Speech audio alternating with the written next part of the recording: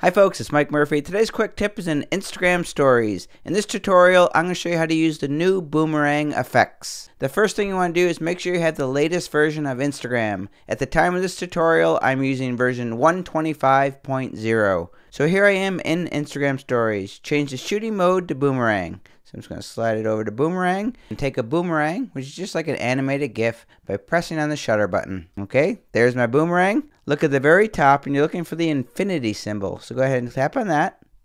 And now you see you have some options. Tap on this little timer and that is going to go slow-mo. So whatever you do for your boomerang will now be in slow motion. Tap the next one, you will get the echo effect. The echo effect is kind of giving a motion blur effect. And the last one, that is the duo effect. That gives kind of a glitch effect. It does a back and forth glitch effect. And down at the bottom, you can now trim your boomerangs. So I can just drag it in from the sides to kind of speed up the boomerang. Get it exactly the way you want. Again, change the modes. So you've got the classic mode, you've got slow-mo, you've got the echo effect, and now you've got duo. When you get the one that you want, just click done in the top right corner you can mock it up just like anything, and then you can post it to your story.